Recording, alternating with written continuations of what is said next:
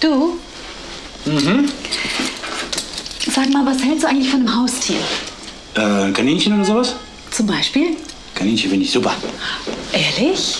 Ja, in Olivenöl mit viel Knoblauch. Ich sehe, wir verstehen uns.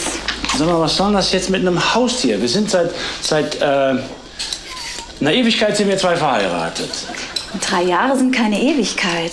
Ja, für dich vielleicht nicht. Also, warum jetzt nach drei Jahren ein Haustier? Ich dachte ja nur. Ah, sag mal, so ein Kätzchen tut doch keinem weh. Ich sag nur Katzenhaarallergie. Seit wann hast du eine Katzenhaarallergie? Habe ich nicht. Ich sag ja nur Katzenhaarallergie. Und wenn ich einen Hund will, sagst du Hundeallergie oder was? Zum Beispiel.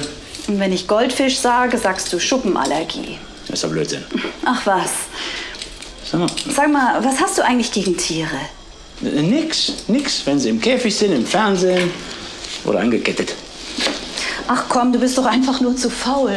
Ja, das stimmt. Zu faul, sie zu fangen, zu schlachten, zu häuten und auszunehmen. Das kann der Schlachter schon besser. Sehr witzig.